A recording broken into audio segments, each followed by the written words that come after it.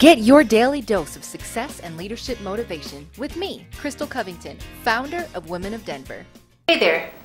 I just picked up Gloria Steinem's Audible book, My Life on the Road, and I am so excited to learn more about what she's learned on her travels. One great quote I found from the book really illustrates the secret behind my personal mission, helping people to be seen in the world.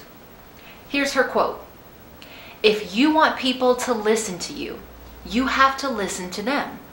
If you hope people will change how they live, you have to know how they live. If you want people to see you, you have to sit down with them eye to eye.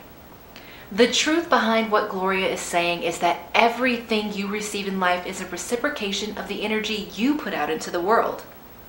In order to be seen for the incredible value you offer, you need to practice seeing others for their value. It's kind of like compliments. Most of the time when you compliment someone, you'll get a compliment back from them. Perhaps not immediately, but it'll be reciprocated rather quickly.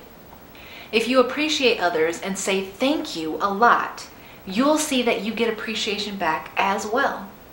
And if you focus your energy on making sure other people feel seen and heard when you engage with them, they'll show the same energy back to you. So if you're feeling underappreciated in your life, consider how you can give more appreciation to others, and you'll get everything you give and more.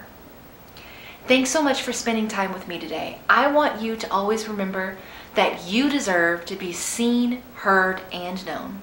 I'll see you again next time.